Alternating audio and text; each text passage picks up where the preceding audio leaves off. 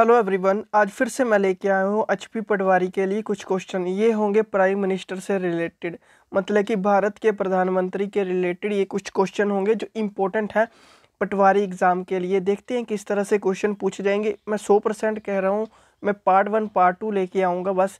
इन दो में से एक क्वेश्चन प्रधानमंत्री का आएगा ही आएगा पटवारी में। भारत के कितने प्रधानमंत्रियों की मृत्यु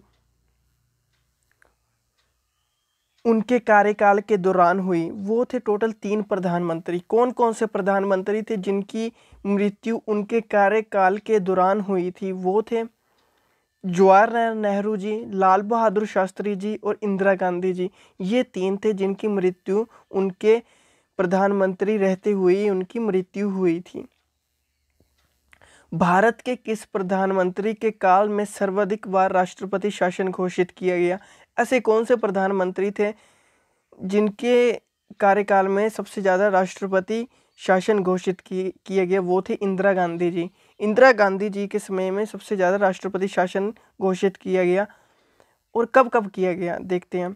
जनवरी 1996 से मार्च 1977 के बीच 35 बार और जनवरी 1980 से अक्टूबर 1984 के बीच 15 बार राष्ट्रपति शासन घोषित किया गया।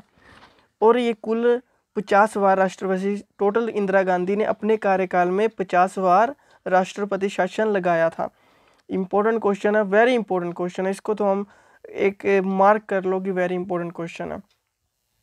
भारत के किस प्रधानमंत्री का जन्म क्रिसमस के दिन हुआ? प्रधान ऐसे कौन से थे जो थे? वो थे अटल बिहारी वाजपेयी, जिनका जन्म क्रिसमस के दौरान हुआ था। और मतलब कि 25 दिसंबर को उनका जन्म दिवस आता है।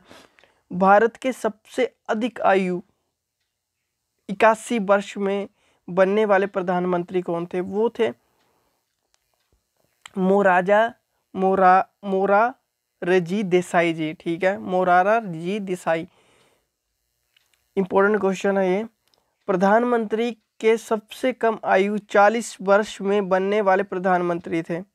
भारत के ऐसे कम, ऐसे कौन से प्रधानमंत्री है? वो बहुत कम आयु में बने, वो है चालीस वर्ष की आयु में, बहुत कम आयु में प्रधानमंत्री भारत के रहे हैं, वो है जोआ राजीव गांधी जी, राजीव गांधी जी रहे हैं। वो six prime minister of India थे मतलब कि भारत के छवें प्रधानमंत्री थे और वो इकतीस अक्टूबर 1984 टू 2 दिसंबर 1989 में सबसे छोटे प्रधानमंत्री के रूप में बने थे और जाने भी जाते हैं।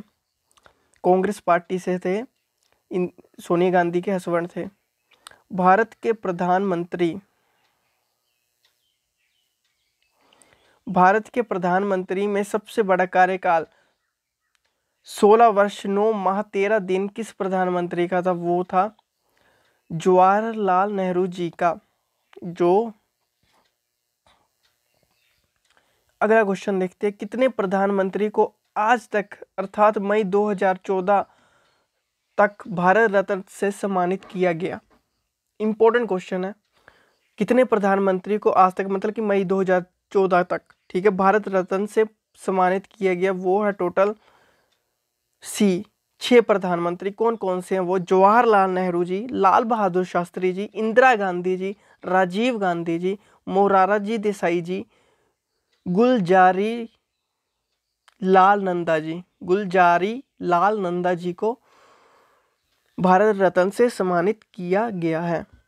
अगला क्वेश्चन देखते हैं सिया चीन की यात्रा करने वाले पहले प्रधानमंत्री कौन थे? सिया चीन की यात्रा करने वाले पहले प्रधानमंत्री कौन थे? वो थे मनमोहन सिंह जी। अगला देखते हैं क्वेश्चन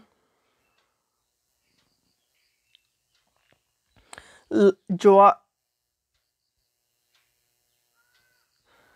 जवाहरलाल नेहरू और लाल बहादुर शास्त्री की मृत्यु के बाद दो बार भारत के कार्यवाहक प्रधानमंत्री कौन थे? वो थे गुलजारी लाल नंदा जी भारत के कार्यवाही प्रधानमंत्री। मतलब कि जब जवाहरलाल नेहरू और लाल बहादुर शास्त्री जी की उनके प्रधानमंत्री रहते हुए मृत्यु हुई थी तो उनकी जगह पर जिन्हें कार्यभार सौंपा गया था, वो थे गुलजारी लाल नंदा जी को उनका कार्यभार सौंपा गया था।